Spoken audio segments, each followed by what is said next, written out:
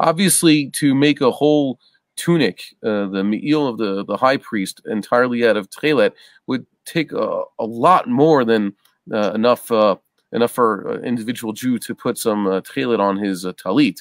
I would imagine perhaps hundreds of talis worths of tcheles go into one me'il for Kohen Gadol, uh, if I'm not mistaken.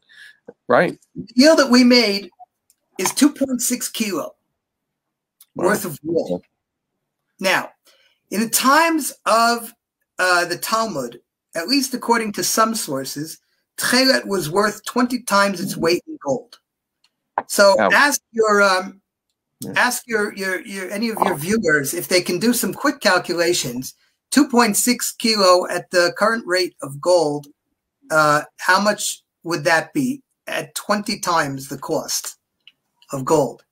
Well, I, I have it right here. It's saying that uh, gold is at uh, gold is uh, U.S. dollars is. Hold on, no, it's not telling me. I don't understand what this means even. Huh. but I don't. tell you by the ounce or tell you by the gram. No, but I actually, I'm actually a, uh, a little bit concerned. I don't think the dollars, uh, dollars value is sort of on the down, also, right? Yeah, but uh, gold is. Hold on, one kilo of gold is is uh five uh, fifty seven thousand dollars and change. So yeah, that's a lot. So you're talking about a, a garment there that 20 costs times that. Huh. Hmm. Well, you got here you're, talking about, yeah. you're talking about a me'il which would have cost in you know today's terms millions of dollars. Okay, wow. now that really brings us back to the parshiot that we are in, Truma and Tetzaveh, where we're talking about Tchelet.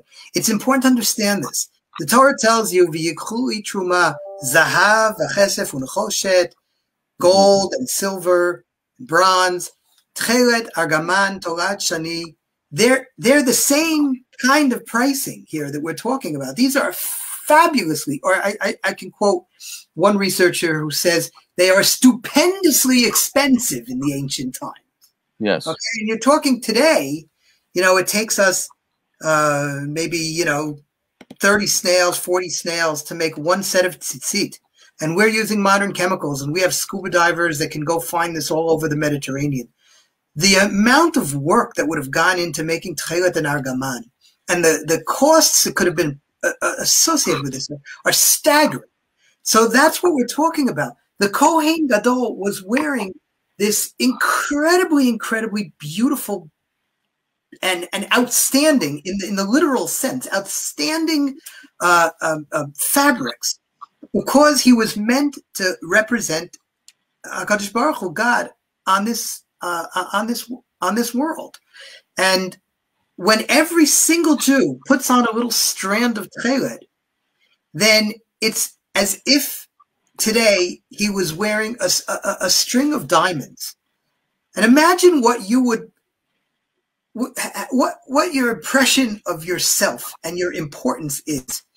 If you were wearing a string of diamonds all the time that the king had given to you right? Or that you went out and you bought with incredible uh mesirat nefesh with you know, with the, the, the, the, willingness to sacrifice, to put this kind of a mitzvah on yourself, you would not be acting the same, you know, way as my kids say, you wouldn't be doing shtuyas, right?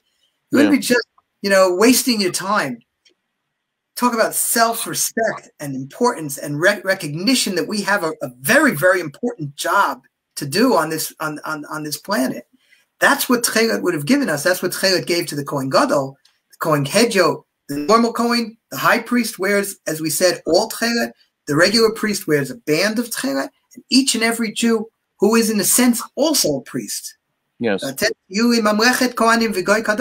Every single Jew is part of this kingdom of heaven, a holy kingdom, and uh, and a priest in, in in a certain sense. And you would expect that he wear that uh, priestly garb, and that's what the tzitzit I think really are for us.